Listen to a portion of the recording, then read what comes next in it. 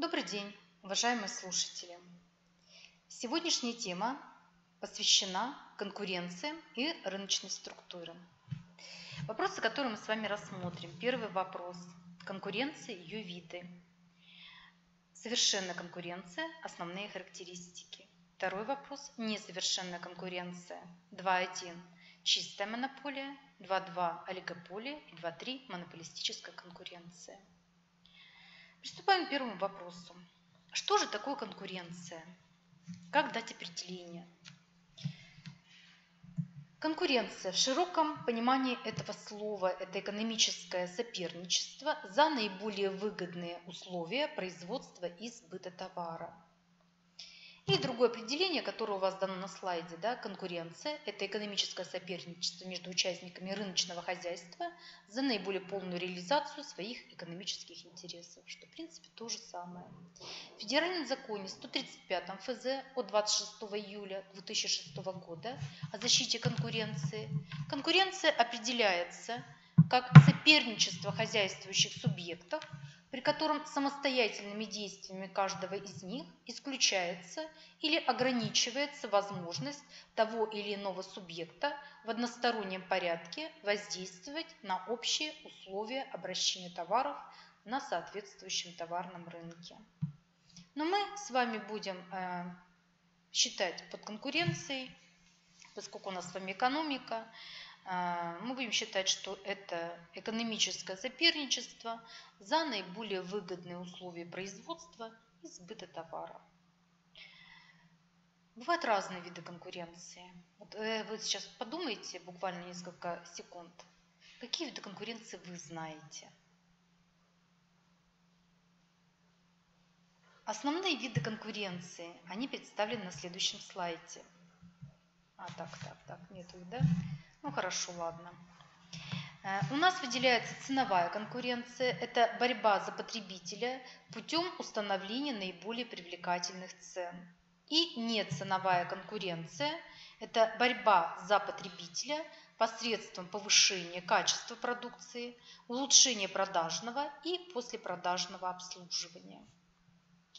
Также у нас выделяется добросовестная и недобросовестная конкуренция. Ну, добросовестная, она сама за себя говорит. То есть это конкуренция, которая ведется с соблюдением законодательства и соответствует этике предпринимательства то время как недобросовестная конкуренция, вот у вас на слайде да, приведены основные как бы, характеристики недобросовестной конкуренции.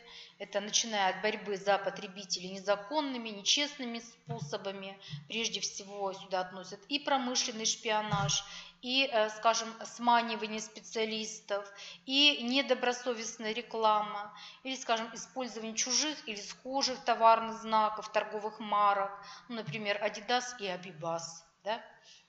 Сюда же относится подкуп чиновников, э, подрыв репутации конкурентов, в том числе используя там, средства массовой информации, введение в заблуждение потребителей и тому подобное. То есть основные вот, примеры недобросовестной конкуренции у вас показаны на слайде.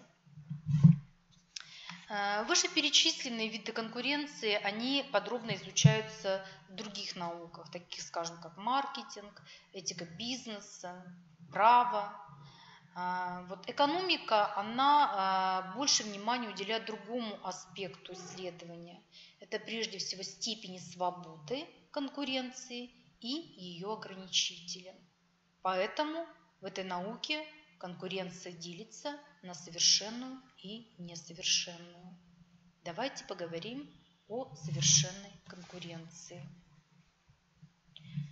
Совершенная конкуренция – это рынок с большим числом независимых покупателей и продавцов однородного товара или услуги и возможностью для покупателей и продавцов свободно входить в отрасль и покидать ее. Почему вот э, мы видим график, да, свободный, э, график совершенного конкурента? Почему э, кривая спроса совершенного конкурента параллельна оси абцисс? Как вот вы думаете? Потому что при совершенной конкуренции доля каждого продавца или покупателя в объеме продаваемого, покупаемого товара настолько мала, и отдельный продавец, покупатель не в состоянии контролировать цену товара или услуги. Так, какие же еще основные характеристики рынка совершенной конкуренции мы можем выделить? Ну, во-первых, на данном рынке множество продавцов и покупателей данного товара или услуги. Во-вторых, отсутствует монополистический сговор между ними. Третье. Значит, у нас э, как бы, есть свободный доступ к ресурсам, отсутствие нормирования или очереди. Четвертое – это полная и доступная для потребителей информация о рынке данного товара или услуги. Пятое это качественная однородность производимого товара или услуги. Я хочу подчеркнуть полное отсутствие дифференциации его. Шестой момент – это отсутствие входных барьеров в данную отрасль. Таким барьером у нас э, может быть отнесено, это, скажем, монополия государства на отдельные виды деятельности – Сюда мы можем отнести патенты и лицензии. Сюда мы можем отнести масштабы производства. Сюда мы можем отнести расходы на рекламу. Ну и последнее, седьмое, это отсутствие выходных барьеров из отрасли, которые можно отнести. Это, скажем, невозвратные издержки, это высокие расходы на ликвидацию, либо реорганизацию предприятия. А сюда мы можем отнести сопротивление профсоюзов, Э, сопротивление государства, э, скажем, высокие э, потери, связанные с разрывом связи с поставщиками, с потребителями продукции. Ну, даже сюда можно отнести, это, скажем, боязнь предприятия потерять свой статус, так называемые нематериальные активы. Ну и сюда же можно отнести мотивы менеджеров, да, это чистолюбие, боязнь потерять работу, то есть это выходные барьеры. Цена на рынке совершенной конкуренции является внешним фактором, то есть она складывается под влиянием общей рыночной ситуации, и это показано на графике. Фирма на таком рынке выступает в качестве ценнополучателя, в отличие, скажем, от фирмы ценнопроизводителя в условиях монополии, чуть позже мы будем говорить, и фирмы ценноискателя в условиях олигополии. Ну, если вы внимательно а, прослушали, да, какие черты характеризуют рынок совершенной конкуренции, то, наверное, вы обратили внимание на то обстоятельство, что такого рынке, рынка в реале, наверное, встретить ну, практически невозможно, чтобы соответствовало всем тем а, как бы, условиям, которые мы с вами озвучили. Как вот вы считаете, может быть такой рынок э, в реале или все-таки, наверное, как бы такой рынок практически не встречается? Ну, я хочу сказать, что э, рынок совершенной конкуренции – это некий идеал, это некая такая теоретическая абстракция. Мы можем с вами говорить лишь о степени приближения того или иного рынка к этому состоянию. Ну, например, скажем, если принимать во внимание такое условие совершенной конкуренции, как однородность товара, то рынок мяса в большей степени будет соответствовать условиям совершенной конкуренции, чем, скажем, ну, э, рынок обуви. В наибольшей степени условиям совершенной конкуренции соответствует вторичный рынок государственных ценных бумаг, рынок иностранной валюты и биржевой рынок зерна. Ну, э, на рынке совершенной конкуренции у нас нет ценовая конкуренция отсутствует. Как вы думаете, почему? У вас подсказка на слайде. Потому что товар однороден. А ценовая не имеет смысла. И как мы увидим с вами позднее, цена в условиях совершенной конкуренции в долгосрочном периоде, она устанавливается рынком на уровне минимума средних затрат. Если ни одно из условий, которые мы с вами только что озвучили, не соблюдается – то э, мы э, будем говорить с вами уже не о рынке совершенной конкуренции, а о рынке несовершенной конкуренции. И основные виды несовершенной конкуренции – это абсолютная монополия, олигополия и монополистическая конкуренция. Давайте начнем с рынка абсолютно чистой монополии. Начнем с самого начала. Как образуются монополии? Что такое монополия? Почему мы говорим о чистой монополии? Что это за рынок такой? Ну, э, первые монополистические образования возникли достаточно давно, да, еще в XIX веке, когда, скажем, отдельные товаропроизводители начали объединяться э, как бы такие в союзы. Что подвигло их вот на эти вот образования, на эти объединения, как вот вы думаете? Ну, прежде всего, да, любая фирма, которая выходит на рынок, она стремится к получению максимальной прибыли. Поэтому естественно, что э, предприятия объединялись для того, чтобы получить максимальную прибыль и снизить свои издержки. На сегодняшний день предприятия, наверное, объединяются в такие монопольные образования для того, чтобы снизить конкуренцию на рынке, то есть выставить, э, выстоять в достаточно агрессивных Э, таких внешних условиях ведения бизнеса, а, для того, чтобы, наверное, как-то расширить свое производство, свою долю рынка, улучшить качество, количество выпускаемой продукции. Ну и еще то, что э, как бы, только крупные да, на сегодняшний день предприятия могут позволить себе э, внедрять какие-то достижения научно-технического прогресса, то есть производить какие-то ну, такие достаточно емкие, может быть, материалы, там, трудоемкие новинки, которые, в общем-то, востребованы современным рынком. То есть малый и средний бизнес, наверное, в общем-то, на это не способен. А крупные предприятия, крупный бизнес, именно монополии, они как раз, в общем-то, им это под силу, и они как раз это делают. Какие же э, первые ранние формы монопольных образований мы знаем? В числе ранних форм монополии была картель где отдельные производители заключали соглашения о ценах, рынках сбыта, объеме производства и распределении прибыли. Однако э, картельное соглашение не касалось производственной и тем более снабженческо-сбытовой деятельности предприятия. То есть в этом э, случае предприятиям предоставлялась полная свобода в торговле той продукции, которая не включалась в картельное соглашение. И поэтому некоторые предприятия за счет этого получали отдельные дополнительные прибыли. Следующей формой монопольного образования является синдикат. Вот синдикат уже сосредотачивает в своих руках функцию снабжения и сбыта предприятий, входящих в его состав.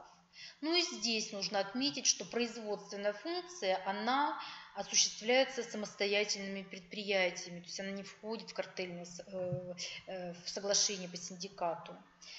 И уже вот э, когда в результате дальнейшего объединения предприятий теряют свою и производственную самостоятельность и начинают управляться из единого центра, то они образуют третью форму монопольного образования – трест. Ну, э, более высшей формой э, монопольного образования, современной формой является концерн. Концерн обычно объединяет предприятия, хотя и разных, но взаимосвязанных отраслей производства. А также сюда могут входить это учреждения торговли, учреждения транспорта, финансово-кредитные учреждения. Э, такое объединение предпринимается для того, чтобы уменьшить межотраслевую конкуренцию путем единого централизованного руководства производством, снабжением, э, реализацией товаров – планированием своих действий по, э, по внедрению новой техники, технологии, ну и для того, чтобы э, успешнее строить перспективные стратегии общих действий в будущем. Как правило, концерн не лишает свои предприятия производственной, а нередко и коммерческой самостоятельности на текущий момент. Вот цель скорее состоит в том, чтобы специализировать и вместе с тем интегрировать свои предприятия в единый экономический комплекс. Ну, вот таким ярким э, как бы, примером э, современного концерна является фирма Gillette. Вы, наверное, все о ней слышали. Да? То есть помимо изготовления лезвий и безопасных брит, это основная их специализация, концерны ведут также производство, фирма Gillette как концерн ведет также производство туалетных принадлежностей, э, кожгалантереи, ручек, солнцезащитных очков, зажигалок и тому подобное. Чем хороши концерны? Почему они вот э, на сегодняшний день, да, такая как бы достаточно такая вот ну, устойчивая форма, и она до сих пор сохранилась на рынке? Ну, во-первых, э, концерн является такой как бы вот, устойчивой, конкурентоспособной формой он э, пригоден для быстрого перемещения капитала из менее э, перспективных отраслей в более прогрессивные отрасли. Ну, например, сегодня да, крупные табачные компании, которые потеряли, скажем, рынок э, в США, потеряли рынок в Западной Европе, помимо как бы, одновременного поиска там, дополнительного рынка, да, это в странах бывшего Советского Союза, они в то же время диверсифицируют свои производства, более такие, скажем, прибыльные отрасли, такие, скажем, как это э, химия, химическое, химические предприятия, нефтепереработка, которые они размещают в странах третьего мира. Ну и также они приобретают гостиницы, отели по всему Средиземноморью. Ну и, и наконец, э, концерном особого э, вида является конгломерат. Конгломератные фирмы объединяют не связанные друг с другом различные предприятия и компании – хозяйственного комплекса, э, предоставляют им почти полную самостоятельность и контролируют лишь по сравнительно небольшому списку финансовых показателей. И, конечно, лидирующее место э, по вот созданию, функционированию конгломератной фирм принадлежит США, где наиболее крупные слияния произошли в прошлом веке, это 80-е годы, и общая сумма капиталов, которых оценивалась в 45 миллиардов долларов. Таким образом, э, мы видим с вами, что возникновение монопольных объединений, оно сопровождается э, усилением хозяйственных, экономических связей между отдельными предприятиями. То есть, по сути, в общем-то, здесь идут такие как бы, агрессивные процессы, связанные со специализацией, кооперацией производства, что в конечном счете способствует э, получению высоких монопольных прибылей и усиливается как бы, присутствие несовершенной конкуренции на рынке. Так, ну вот э, у вас, э, давайте вернемся значит, э, к абсолютно чистой монополии. Да? Что же это за рынок, да, где присутствуют на сегодняшний день вот такие формы, о которых мы только что с вами говорили? Ну, во-первых, рынок, монопольный рынок, это рынок со следующими отличительными чертами. Во-первых, на данном рынке присутствует лишь одна фирма-продавец, которая целиком обслуживает весь рынок, целиком удовлетворяет рыночный спрос. То есть размер фирмы целиком совпадает с размером отрасли. Поэтому в нашем случае понятие фирма и отрасль, да, если мы говорим о рынке э, абсолютной монополии, это синонимы. То есть эти понятия тождественны. Фирма и рынок. Второй момент, который вы должны запомнить. Э, фирма предлагает уникальный товар, который не имеет близких субститутов, то есть не имеет близких заменителей. Третий момент. Вход на данный рынок, он э, закрыт для других продавцов. То есть непреодолимые э, барьеры для вхождения в данный рынок. И вот э, эти барьеры, они могут быть связаны, скажем, это с монополией государства, они могут быть связаны, скажем, какими-то патентами, они могут быть связаны э, с эксклюзивным доступом к ресурсам, либо вообще как бы вхождение на этот рынок э, экономически неэффективно для других э, значит, продавцов. Ну, например, да, очень сложно представить себе конкурента у московского метрополитена – то есть это экономически нецелесообразно. Почему? Потому что здесь э, влияет такой фактор, как сетевой характер доставки блага потребителю. Или там, э, скажем, такой фактор, который требует э, единого контроля из центра или положительной отдачи от масштаба. То есть как препятствие тоже, в общем-то, имеет место быть на рынке монополии. Следующий момент. Нужно сказать, что фирма-монополист она обладает значительной властью на рынке. Что это значит? Это значит, что изменяя цену, она контролирует объем продаж.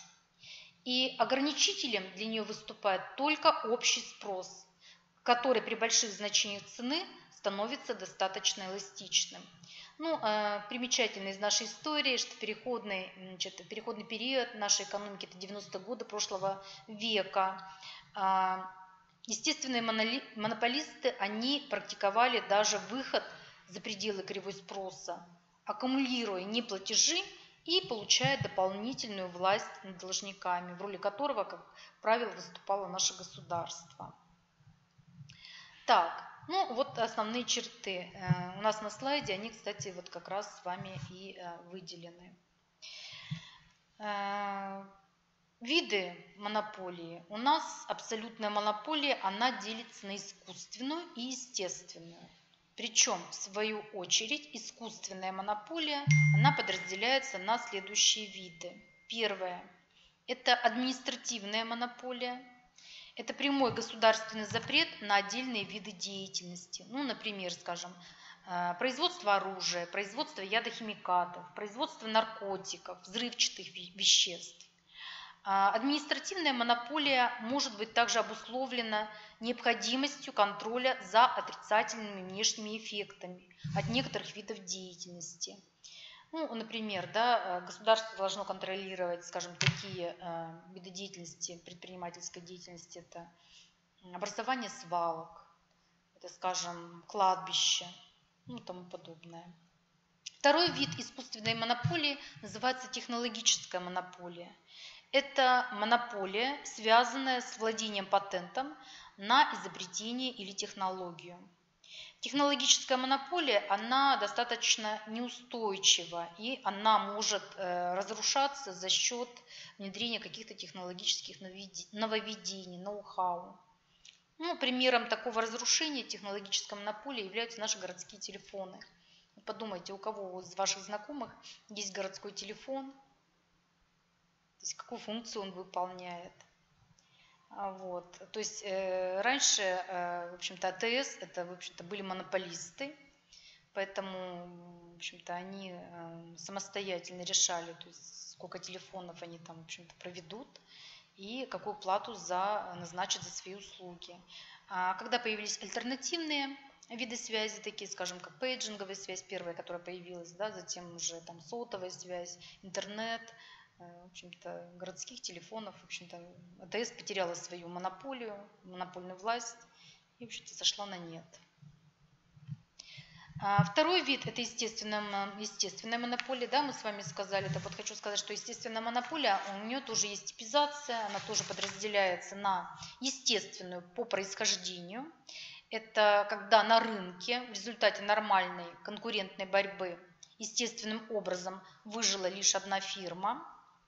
Ну и э, второй вид – это э, исторически обусловленная естественная монополия, э, то есть э, когда ее власть происходит от абсолютной э, государственной собственности на какой-либо ресурс.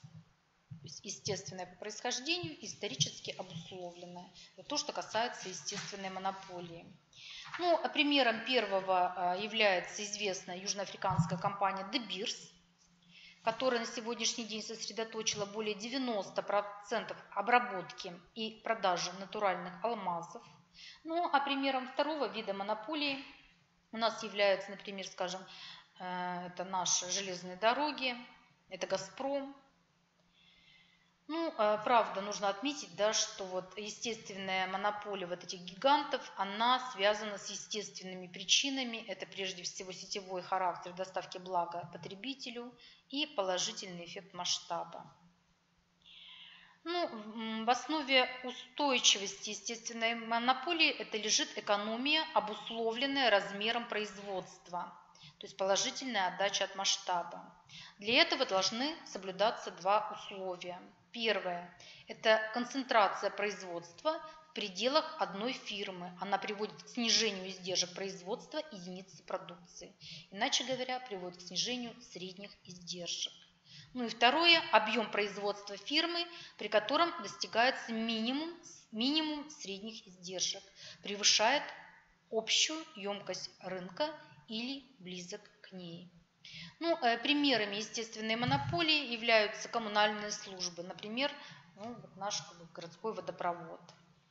появление конкурирующей службы водоснабжения в каком-либо районе, да, или, скажем, э, деление существующей водопроводной компании на ряд независимых подразделений означало бы э, существенное увеличение затрат как на эксплуатацию этого водопровода, да, так, наверное, и на управление, что, в общем-то, привело бы к снижению общей прибыли компании. Поэтому это нецелесообразно. Ну, а естественная монополия, как правило, требует гораздо больших усилий для завладения рынком, нежели для его удержания. И существует ряд случаев, когда абсолютная а, монополия становится экономически целесообразной в сферах деятельности, которые обычно охватывают э, конкурентные рынки. Ну вот, э, когда у нас, э, как вот вы думаете, монополия, абсолютно монополия будет оправдана? При каких вот обстоятельствах? Никогда не задумывались над этим? Ну, во-первых, наверное, в ситуации, когда размеры локального рынка настолько малы, что не достигают оптимального объема производства фирмы в долгосрочном периоде. Ну, например, да, такие специальности, как сапожник в сельской местности, печник, там, ветеринар, парикмахер. То есть в малонаселенном пункте, да, там, скажем, у нас есть один дом быта, и вот эти специальности представлены в этом доме быта, да, там, скажем, по одному человеку. По сути, они не что иное, как монополисты. Но если создать им конкуренцию, построить еще один дом быта, да, и пригласить специалистов, имеет ли это место как бы с экономической точки зрения, с точки зрения эффективности? Наверное, нет. Также это обычно касается товаров с э, запретительно высокими издержками, скажем, транспортировки в частности, да, из других регионов. Э, или, скажем, э, скажем, те услуги, где необходим непосредственный контакт между продавцом и покупателем.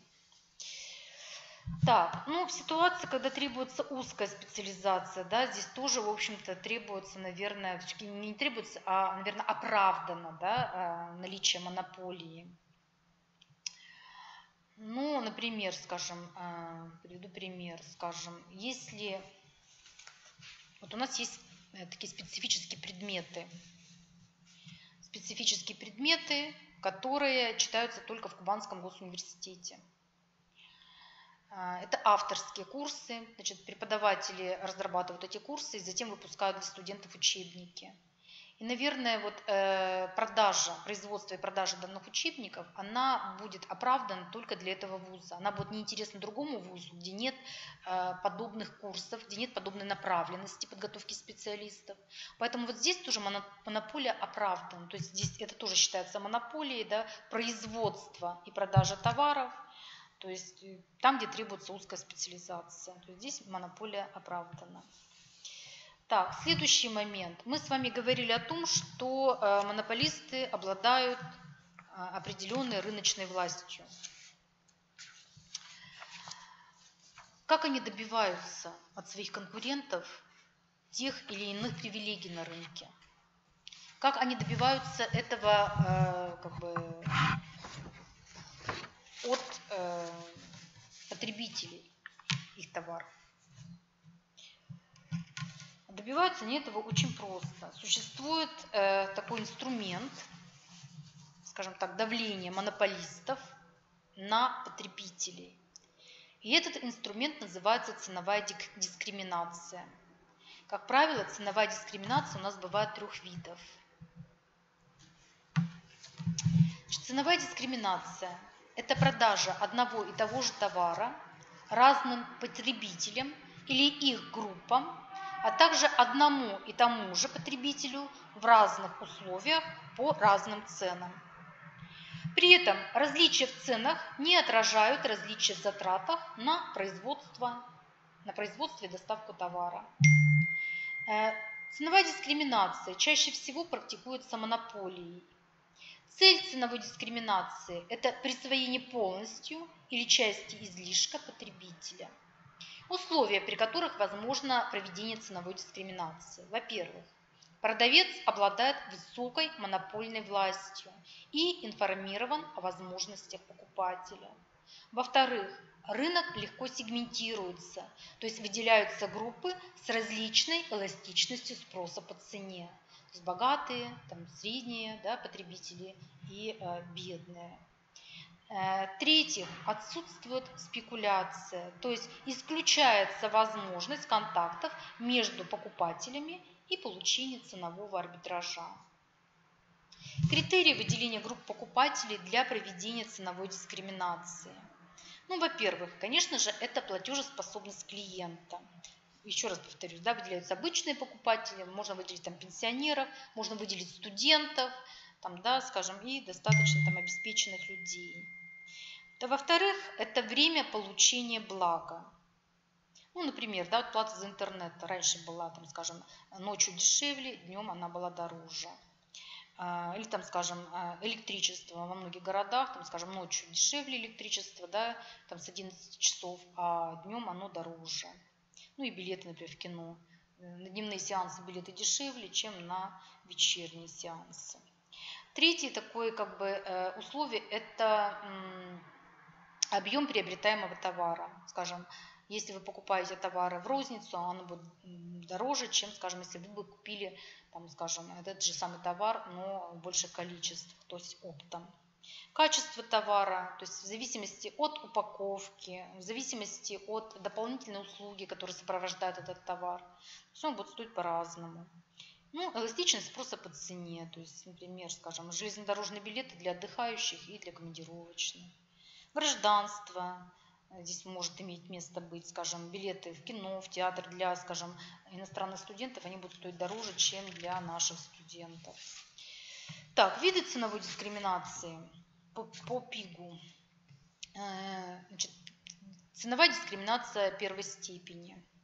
Это продажа товара каждому потребителю по его субъективной, то есть мы говорим резервной цене, определяемой предельной полезностью. При этом монополист присваивает весь излишек потребителя. И примеры ценовой дискриминации первой степени можно привести такие, скажем, э, Владелец автосталона назначает цену услуги да, на ремонт автомобиля в зависимости от стоимости самого автомобиля. Или, скажем, врач назначает стоимость услуги в зависимости от размера страхового полиса клиента и там внешнего вида, то есть состоятельности э, клиента. Так, ценовая дискриминация второго рода это дифференциация цены в зависимости от объема покупаемого товара. Ну, иногда такие цены называют многоставочным э, тарифом. Э, ценовая дискриминация второй степени, она наиболее эффективна при наличии экономии на масштабе. И примеры э, можно привести следующие, это, скажем, дисконты на приобретение большой партии товара, или там продажа э, билетов, там, не знаю, там, на транспорт, да, там, на, если вы покупаете проездной, то есть поездка вам обходится дешевле, чем, скажем, э, каждый раз вы будете платить за отдельную поездку. Э, кстати, вот дискриминация второй степени объясняется наличием кумулятивных скидок. Это, скажем, покупка сезонного, сезонной, там, скажем, одежды, да, там, и скидки, которые в конце сезона происходят. Так, э, ценовая дискриминация э, третьей степени. Значит, э, это разделение групп потребителей по принципу различной эластичности спроса по цене. Ну и примеры ценовой дискриминации третьей степени, это, скажем, дифференциация по возрастному признаку. То есть это разная, опять же, стоимость входных билетов музеи, театры для студентов, для пенсионеров, для прочих граждан.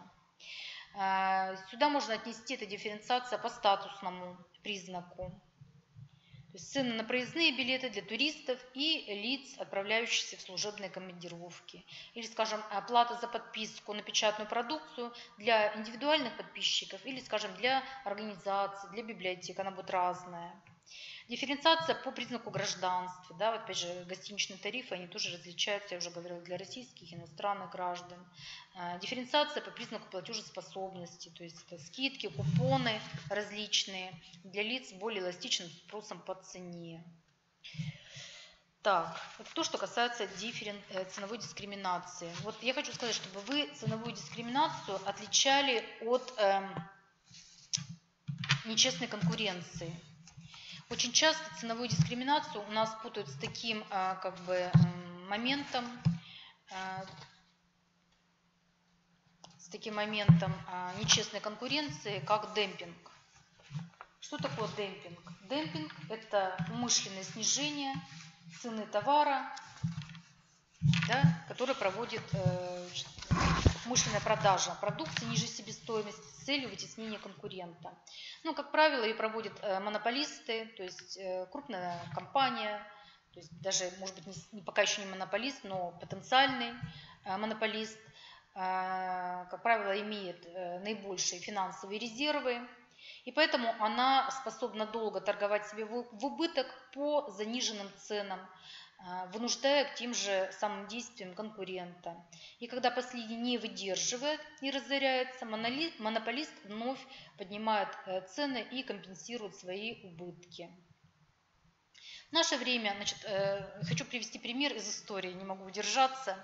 Вот э, на Волге, это город Волгоград, когда не было там, скажем, моста, не было там ГЭС, в царское время, когда еще город назывался Царицын, была переправа. То есть бизнес достаточно такой был э, привлекательный для многих предпринимателей, поскольку он был очень прибыльный. То есть людей перевозил предприниматель с одного берега на другой. И у него очень часто появлялись конкуренты. Как он с ними разделывался? То есть он начинал демпинговать, он начинал снижать цены.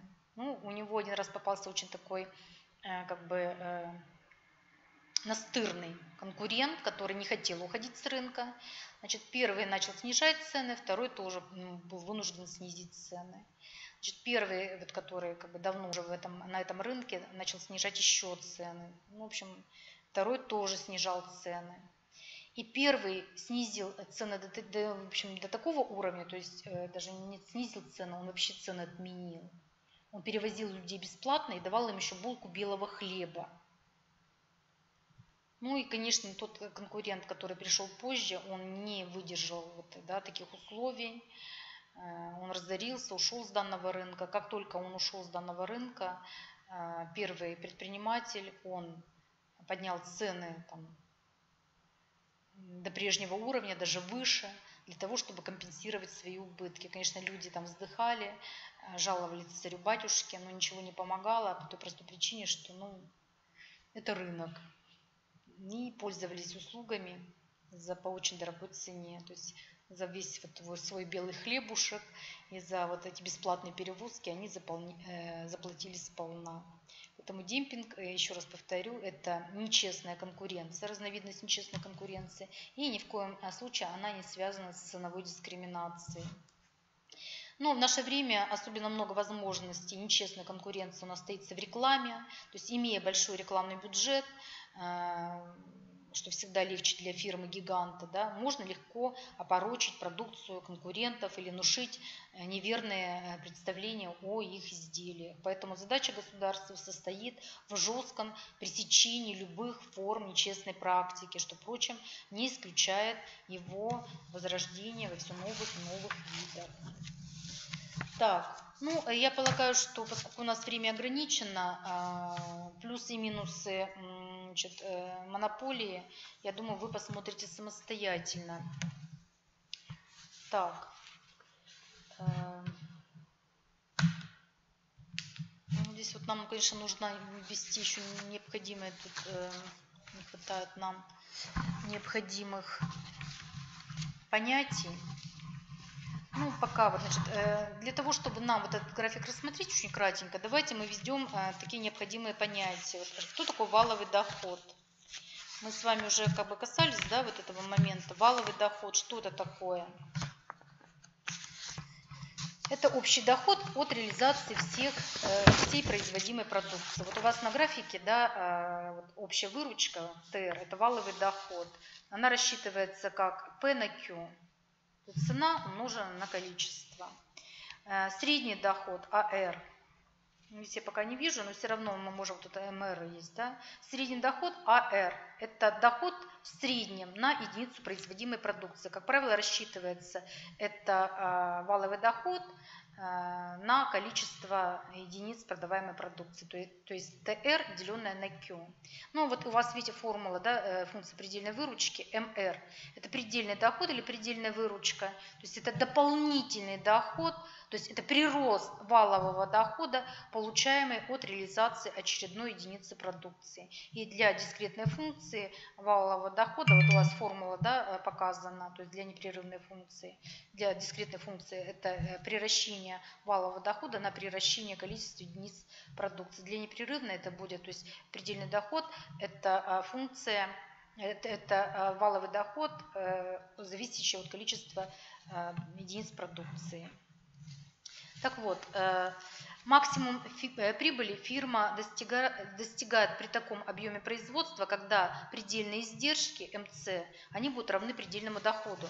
Мы более подробно об этом поговорим с вами на следующей лекции, когда будем рассматривать поведение производителя, то есть мы к этому еще вернемся. Но для того, чтобы сейчас у вас было понимание вот этого графика, вот этого рисунка, который у вас представлен на слайде, да, то есть мы вот ввели вот эти вот новые понятия. Как осуществляется максимизация прибыли в монополии? Э, значит, э, здесь давайте вот, э, значит, обсудим с вами. Спрос будет эластичным по цене. Если при снижении цены происходит рост величины спроса, а значит и валового дохода. Если же падение цены будет уменьшать валовый доход, то спрос будет неэластичен. Это означает, что графический эластичный участок кривой спроса D, вспоминайте предыдущее занятие, соответствует растущему участку кривой валового дохода TR. То есть мы помним с вами, да, что А – это бесконечность, Е – это единичная эластичность, B – это неэластичный спрос. То есть участок А, Е – это эластичный спрос, участок Е, Б – это неэластичный спрос. Следовательно, монополист стремящийся максимизировать прибыль, будет стремиться производить такое количество продукции и по такой цене, которая соответствует эластичному участку кривой спроса D. И будет избегать таких комбинаций цена-количество, которые соответствуют неэластичному участку кривой спроса. Поэтому максимизация прибыли монополия будет выглядеть вот таким образом. Ну, и э, здесь у нас э, показан спрос на продукцию монополиста линейная функция, да, и, э, значит, и функция предельной выручки, то есть то, что нам будет необходимо для решения наших с вами задач. Так, следующий момент. Следующий момент, который мы должны с вами обсудить, это олигополия. А, еще прошу прощения, индекс Лернера, да, мы с вами не обсудили. То есть как вот измерить эту монопольную власть монополистов, да, как мы ее с вами будем измерять.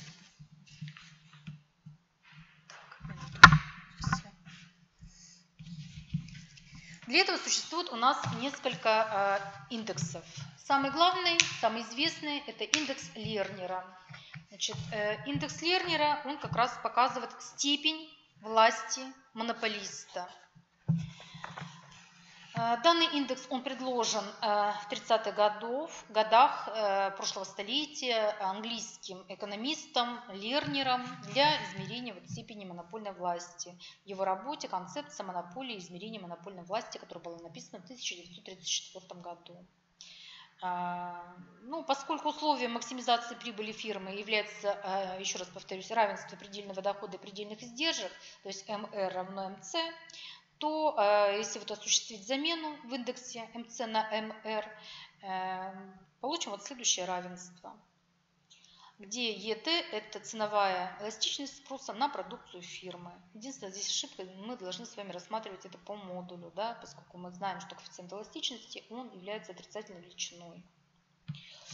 Так, следующее, значит, у нас э, в Германии для определения уровня монополизации рынка применяют показатель доминирующего положения на рынке. Так называемый индекс концентрации – Таковым считается ситуация, когда на одно предприятие приходится более 1 трети совокупного оборота на рынке, либо на 3, на 3 предприятия э, более половины всего оборота, либо на 5 предприятий свыше двух третьих оборота. В США долгое время э, применялся показатель доли четырех крупнейших фирм на рынке какого-либо товара. Но в последнее время становится все более популярным. Это вот как раз индекс Герфиндаля-Хиршмана. Формулу посмотрите и себе отметьте. Так, в изданном а, в 1984 году руководство Министерства юстиции США запрещается слияние фирм, если при этом индекс э, Герфиндаля-Хиршмана будет э, больше 1800. И разрешается любое слияние значит, э, для вот этого индекса меньше 1000. Ну, а в остальных случаях проводятся дополнительные исследования. Так. Это то, что касается монопольной власти. Так, давайте сейчас мы с вами э, перейдем к олигополии. Что же такое олигополия? Олигополия – это рынок со следующими э, отличительными чертами. Во-первых, на данном рынке присутствует несколько крупных фирм-продавцов, как правило, их не более 10. Доля, по крайней мере, некоторых из них достаточно высока, э, что позволяет им осуществлять контроль над ценами. Фирмы предлагают либо однородный товар, это так называемая однородная олигополия. Примерами э, однородной олигополии выступают, скажем, металлургические комбинаты, нефтяные компании. Либо это товары, сильно различающиеся по качественным характеристикам. Так называемая неоднородная олигополия или еще и называют дифференцированная олигополия. К ней относятся автомобилестроители, э, сюда относится производство бытовой техники, ну и тому подобное. Следующая черта то, что доступ для других фирм на рынок затруднен по одной или нескольким причинам. Ну, э, самыми такими распространенными причинами у нас является эффект масштаба, расходы на рекламу, невозвратные издержки. Я хочу обратить ваше внимание на то, что если, скажем, в условиях э, монополии у нас существуют непреодолимые входные барьеры на рынок, то в условиях олигополии это просто высокие барьеры. Вообще, само слово олигополия э, вел в науку английский гуманист Томас Мор еще в XVI веке.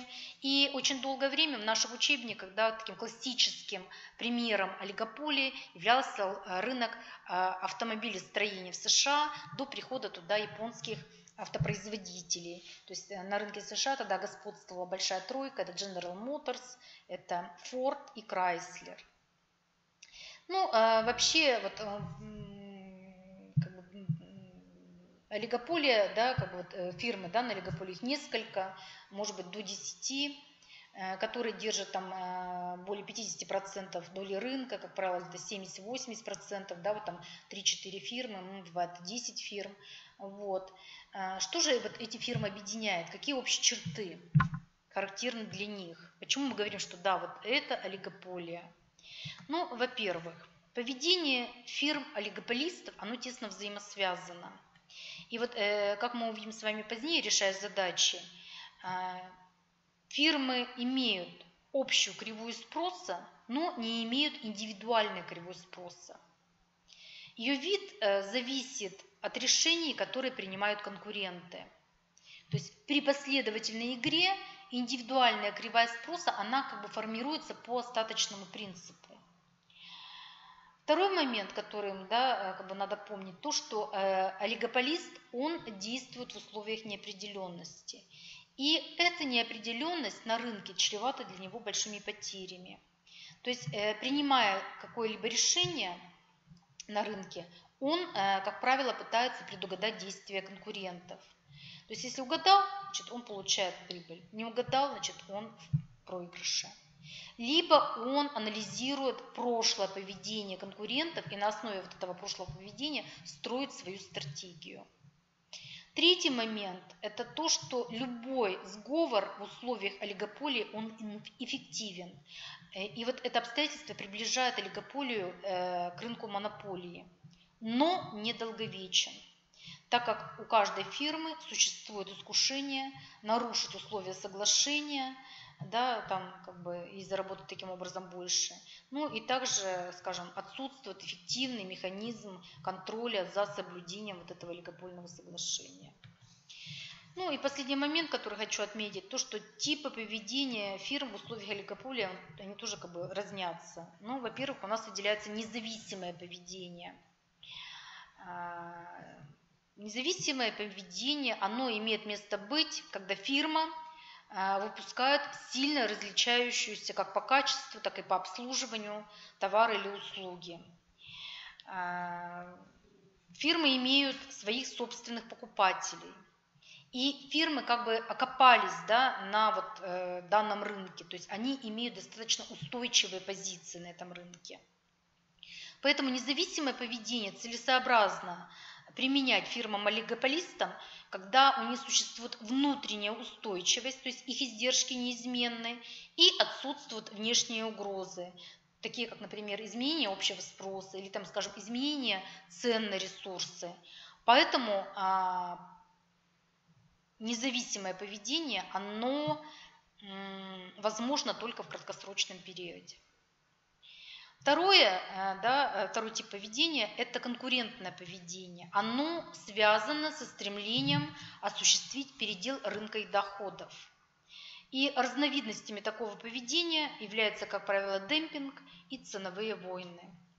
Ну, конкурентное поведение, оно а, проявляется прежде всего в снижении цен – а что, естественно, приводит э, к сокращению прибыли. Ну и истощает силы, ресурсы фирмы, то есть достаточно такое оно затратное. Поэтому конкурентное поведение имеет смысл проводить фирмам на рынке, если э, на данный момент да, а, у фирм нет каких-либо там финансовых обязательств, там, например, перед банками, да, то есть э, у них нет, там, скажем, непогашенных суд, и э, если фирмы ну, чувствуют себя достаточно уверенно для того, чтобы снижать цены. Э, кооперативное поведение – это явный или тайный сговор с целью удержания высоких цен. Оно позволяет удерживать высокие цены, э, контролируя объем продаж, ну и получать от всех этих действий максимальную прибыль. Э, на сегодняшний день разновидностями кооперативного поведения у нас являются это лидерство в ценах, такая модель да, олигополии, на практике мы будем об этом говорить, и объединение в картель. Так, у нас выделяются также типы олигополии по признаку дифференциации продукта. Выделяется классическая олигополия, э, ну это я уже говорила, да, когда там производится однородная продукция. Это дифференцированная олигополия, когда а, разнородная продукция производится у разных фирм. И многопродуктовая олигополия, когда дифференциация продукции идет внутри фирмы. Я вам приводила пример фирма Джилет. Также у нас есть типизация а, олигополии по Шепарду. Уильям Шепард, это американский экономист, предложил такую типизацию. Выделяется плотная олигополия, а, когда на 4 ведущих продавца приходится более 60% рынка. И здесь главная характеристика, то, что сговор возможен на рынке легко осуществим. И неплотная олигополия, когда на 4 продавца приходится менее 40% рынка. И основная характеристика э, значит, этого рынка, то, что сговор практически невозможен. Э, особым видом э, является олигополия с конкурентным окружением. Ну, э, я думаю, что вы это посмотрите самостоятельно. Ну и последний э, тип рынка несовершенной конкуренции – это монополистическая конкуренция. Э, это рынок со следующими отличительными чертами. А, вот я здесь основные характерные черты рынка олигополии. Посмотрите еще раз, давайте повторим, как вывод, да? И рынок а, монополистической конкуренции. Основные черты. Ну, это рынок со следующими чертами. Во-первых, на нем присутствует много продавцов данного товара и услуги. Как правило, это мелкие и средние продавцы, мелкий и средний бизнес. Второе, здесь имеет место значительная дифференциация товара, то есть преобладает неценовая конкуренция. Третье, здесь отсутствуют высокие входные барьеры. Хотя некоторые барьеры, например, скажем, патенты и лицензии, они вполне вероятны. К тому же наличие авторского права и торговой марки, оно позволяет поддерживать индивидуальный облик э, производимого блага. Ну, а к рынкам монополистической конкуренции у нас относятся рынки одежды, обуви, продуктов питания, прохладительных напитков, сигарет и другое. Монополистическая конкуренция с дифференциацией продукта, она является наиболее распространенной рыночной структурой. Значит, под дифференциацией понимается различие товаров по качеству, функциям, свойствам, обслуживанию, марке, месту и времени предоставления и даже по упаковке товара. Дифференциация как на рынке, так и внутри фирмы, она позволяет лучше удовлетворять индивидуальные запросы потребителей. При этом объемы производства каждого вида блага не, достигает своего экономического оптимума, то есть минимума средних а, издержек. И такой товар, в общем-то, он дороже для потребителя, чем, скажем, товар в условиях совершенной конкуренции. Но мы с вами, как потребители, да, согласны платить за удовольствие, скажем, носить костюм по размеру, да, э, там, носить костюм, который нам больше нравится там, по цвету, по фасону, да, чем однотипный товар. Ну, вот если вы внимательно посмотрите на те черты, которые у вас э, как бы, да, представлены на слайде, то вы, наверное, можете сказать, что монополистическая конкуренция очень схожа с совершенной конкуренцией, а, особенно по двум характеристикам. Это отсутствие высоких входных барьеров да, и присутствие на рынке большого количества мелких и средних продавцов. Но в то же время наличие уникальных и в некотором роде невоспроизводимых качеств товара а, сближает рынок монополистической конкуренции с монополией. Ну, у продукции фирм в условиях монополистической конкуренции много заменителей, то есть это э, продукция аналогичных фирм, но отсутствуют совершенные заменители. И наличие уникальных свойств блага позволяет формировать устойчивый спрос со стороны некоторой группы потребителей, оказывающей предпочтение именно значит, данному товару. В то же время существенное повышение цены может привести к отказу прежних потребителей от покупки данного товара и изменению их предпочтений в пользу товара конкурирующей фирмы. Поэтому спрос на продукцию такой фирмы, он высоко эластичен, но он не является абсолютно эластичным, как, скажем, да, у нас в условиях совершенной конкуренции. Поэтому кривая спроса будет иметь такой неспадающий характер, то есть отрицательный наклон. С другой стороны, поскольку входные барьеры в отрасль и на рынок практически отсутствуют, всегда существует опасность появления более совершенных заменителей. Рост их числа снижает спрос на продукцию данной фирмы и делает его еще более эластичным. То есть кривая спроса она будет тяготеть э, оси абсцисс. И все же в условиях монополистической конкуренции некоторые продавцы обладают более длительной монопольной властью над рынком и ценой. Это объясняется наличием устойчивых потребительских предпочтений к торговым маркам известных фирм, которые э, зарекомендовали себя высоким качеством производимой продукции. Поэтому потребитель, как правило, да, остается э, с этим, э, с этим производителем.